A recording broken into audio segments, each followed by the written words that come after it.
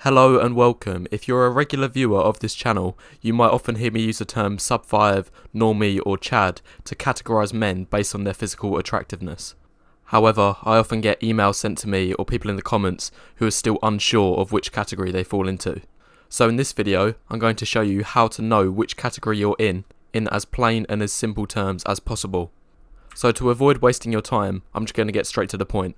The best and most consistent way to know which category you fall into is to simply observe how women treat you. You do not need to watch my videos analysing attractive facial features.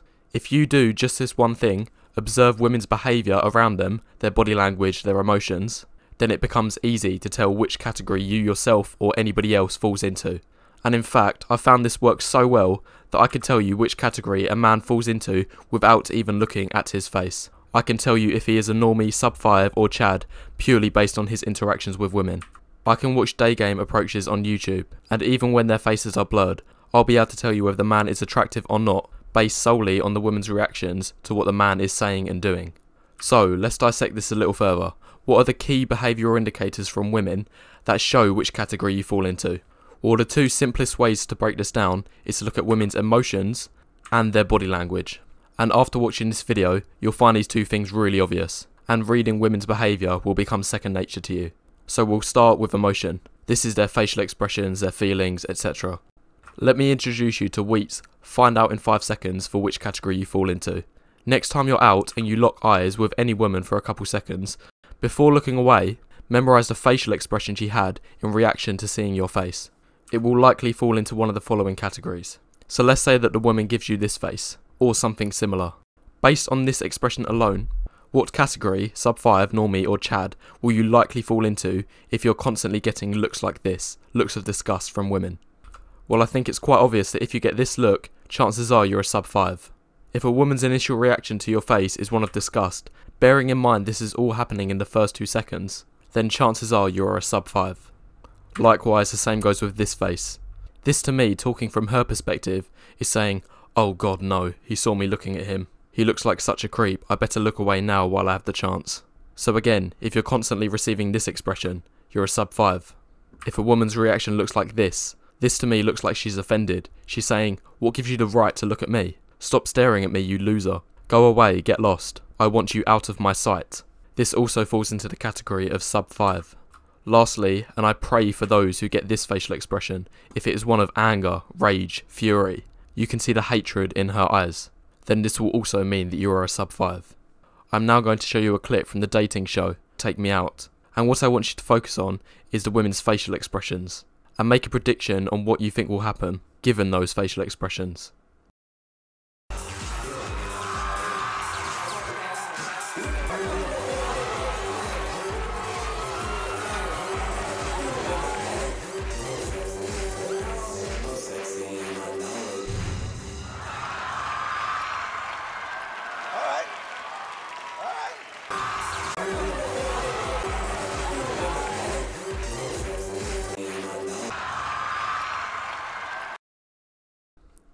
It should come as no surprise that 21 women turned off their lights, meaning they're not interested in dating him, and this was judging off his looks alone. Also, don't fool yourself into thinking that some of the women still turn their lights on, as it's a common thing on the show for women to leave their lights off at the beginning in order to be polite. It's called virtue signalling, and I've talked about it a lot in my previous videos. Secondly, there are also rumours that the producers of the show tell the women to leave their lights off at the start Otherwise, the show would get very boring very quickly if every woman turned their light off right at the start. And to emphasise my point, after the personality round, all 30 women turned off their lights. However, it is my bet, given these horrific initial reactions, that all of the women had their mind made up from the very beginning. These are the kind of facial expressions you will experience on a daily as a sub 5. So how do I know if I'm a normie? So a normie will usually get some neutral reaction. There's no excitement, there's no positivity, but there's no negative emotions tied with it either. She won't get disgusted at you looking at her face. You might also get a friendly smile, but it won't be very enthusiastic. She won't be expressively inviting you over to come chat with her. However, for Chads, and this is how you will know if you're a Chad, if she's very happy, she's smiling with intense joy, she's inviting, then this is a very good indicator that she finds you attractive. Likewise, if she has a smirk on her face like this, It's seductive, it's flirtatious, it's sexy. This can also show that she finds you very attractive. Again, if you get this kind of facial expression, one of glee, only Chads will receive an initial reaction like this. Lastly, if she pulls a funny face in front of you, again, it's playful, it's flirtatious, and based off first impressions, it looks like she's already comfortable in front of you. Now let's have a look at another clip from Take Me Out, showing the reactions that a Chad will receive. And again, I want you to pay close attention to the expressions on the women's faces.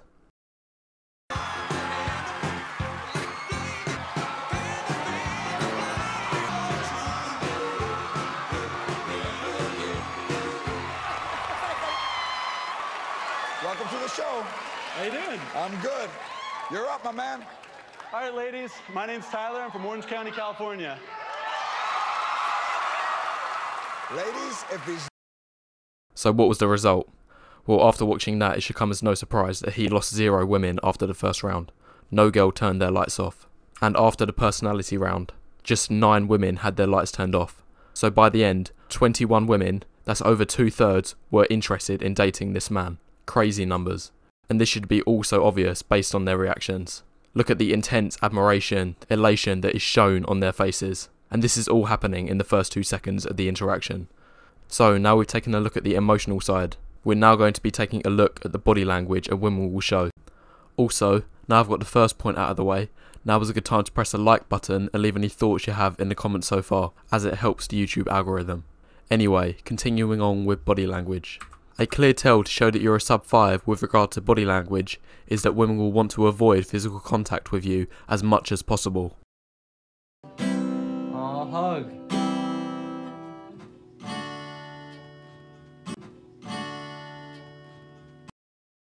Obvious things women will do include having their body tilted away from you, being really tense or uncomfortable in the shoulders, having their arms really close to their body, which is a common defense mechanism. It's showing that they don't want to be touched and they're trying to guard themselves from others. Or if they make any excuses to leave early, like my friend's calling me over or I have a bus to catch or whatever, and so on and so forth. So if these things frequently happen to you in your interactions with women, then there's a strong chance that you're a sub 5. Also, I haven't said this yet, but all of these things are big generalizations, and they're not going to happen 100% of the time in 100% of interactions. However, this is where you need to use a bit of common sense to see what the overwhelming sentiment and vibes you receive in your interactions with other people. So, just a really quick example if 80% of the time you're getting these things, and another 20% of the time you're getting other things, and women are just being friendly towards you, then still, in the majority of cases, the evidence that you have at hand is pointing towards you being sub 5. I hope that makes sense, so don't take everything in this video too literally, and rage at me in the comments with your really nitpicky exceptions, as these are just generalizations. So, these are key indicators that tell you're a sub 5, meanwhile the opposite goes for chads, where the common theme is that women will make excuses to touch you, so they might playfully punch your arm when making a joke, or make a comment on your appearance, such as your hair, and then begin to play with it as she's talking about it. Here's an example from one of my own experiences, which to this day still sticks in my mind as being a very blackpilling moment of my life. So here's how it goes. Me and a couple friends were around my house just having a low key meet up, just chilling pretty much. And these two friends, this is important, had never met each other before. They were both friends of mine and were meeting each other for the first time. And friend 1, she was a girl, she was about a 7 out of 10 in looks. She would be what you call a Stacy Light. And then friend 2, he was also about a 7. He falls into that Chad Light territory. So we were just around my house, and after a while, we get a bit bored and we go outside to the park to have a bit of a kick around. So now we're outside playing football and we're just passing it about between each other.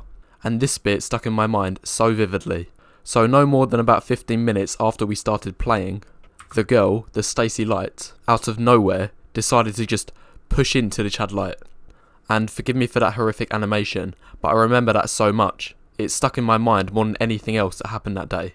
And you might not think that this is significant at all, but the fact that they started going out just one week later shows that it did mean something. Because there was absolutely no need for that. There was no need for her to push into him randomly.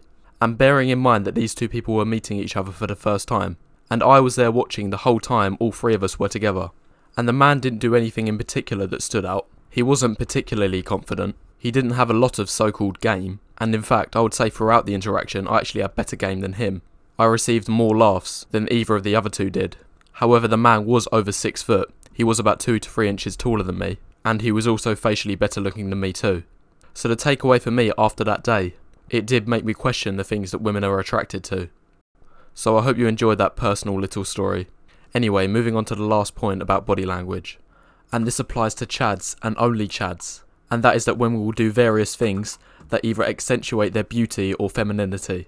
So this might be things such as pushing their hips or chest out as it makes their feminine features more prominent, licking their lips while she's talking to you, or frequently adjusting or brushing her hair or caressing her face. So pretty much anything that attempts to sexualize her appearance. And this is where I'm going to come to the main point of my video. And this point pretty much sums up everything that I've said in the last 8 to 10 minutes. And that is, it doesn't matter what you say, it doesn't matter how attractive you think you are, or any of your friends tell you how attractive you are. In fact, it doesn't matter what women say either. It does not matter how attractive any girl tells you you are. And on top of all of this, it doesn't matter what I say either. Like, myself or anyone else can analyse faces and analyse facial structures till the cows come home. But none of it matters. These are all things that do not matter. So the point of my video is, the only thing that matters is how women treat you. The micro expressions that they show, which a lot of the time are being made subconsciously, that are indicative of either attraction or repulsion. And all of this can be seen through their emotions and body language from when they're interacting with you. So here's a quick example. In my most recent face ratings video, I rated this man, James Tusk, and after analysing his face, I gave him an 8 out of 10. So very much up there in terms of looks, comfortably hitting that Chad level. I then further supported my point by analysing various clips of his interactions with women. For example, in this short 5 minute interaction, the girl that he was talking to frequently adjusted and brushed her hair, a total of 6 times in just 5 minutes. I then showed this clip, where the woman was enthusiastically smiling at him, and this was no more than 30 seconds into the interaction. And there was one other analysis of behaviour that I provided in that video, so if you want to check that out for yourself, then a link will be in the description below. However, despite all of this, I still had people in the comments of the video saying that he wasn't an 8, that he's actually a 7. This is what I'm talking about when I say that it doesn't matter what you have to say. The only thing that matters is how women treat you. And when the evidence points to him being a Chad, and women are blatantly showing that they are attracted to him, then that automatically makes him a Chad. It does not matter what you, I, or anyone else thinks. And it works both ways. Here's another example. So I've recently had a message conversation with some guy who wanted me to rate him out of 10. Here's a brief summary of how it went. This is the watered down version. So he first asks me what he is out of 10 and I get back to him and I say he's a 5. And after this, he gets a bit defensive. He tells me that I'm wrong, and he brings up that a girl actually told him he's an 8. So I respond and ask him, Are you dating this girl then? And he tells me, Oh no, she friendzoned me. Now, I wouldn't be surprised if you yourself, or any other man that you know, has experienced something like this. Now, I've covered virtue signalling in my videos many times, and this one isn't a rare case. It makes no sense for a woman to tell a man that he is an 8 out of 10 and then to friendzone him later. And some of you might be in the comments already saying, oh, well, maybe she didn't like his personality, that's why she friendzoned him. Well, no, because if the girl didn't like his personality, then she wouldn't even want him as a friend. Why would anyone want a friend if they don't like their personality? I've said this so many times. The only difference between boyfriend and friend is physical attraction. I'll say that again. The only difference between boyfriend and friend is physical attraction. If a woman tells you that you're attractive but is not willing to date you, such as the example I just gave here, then in plain and simple terms, she's lying. And chances are the only reason that she is doing this is to protect your feelings, and also likely doesn't want to lose you as a friend. But I'll expand on this topic a bit more in another video. So, after the examples I just gave you, if you're still confused on how attractive you really are, you're constantly hearing numbers that vary wildly, and you finally want to hear the God to honest truth, then you can get a personal rating from myself. As of this week, I have started Fiverr, and I currently have three services up and running an in depth face rating analysis with looksmaxxing advice, a 30 minute private phone consultation, and a 20 minute private message consultation. So if you want to get a personal rating by me, check out my Fiverr. A link will definitely be in the description box below. It is the most simple and secure way to get rated. Everything will be 100% private and personal, there is no risk of your images being seen or used for anything else. Everything will be for your eyes only.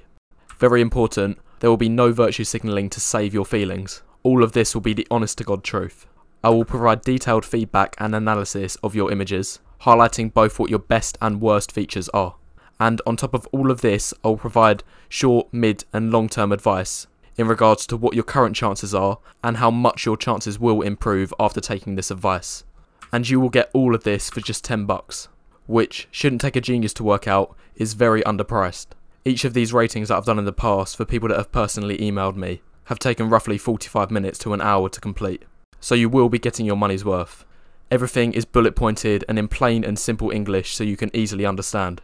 And if you want an example of what you will be receiving, then you'll find a complete analysis and feedback from a man who emailed me and was kind enough to let me use his analysis as an example. So if this is something that at all interests you, then check the description now, a link will be found there. Other than that, if you enjoyed the video, be sure to press the like button and leave any thoughts you have in the comments below, as it helps the YouTube algorithm.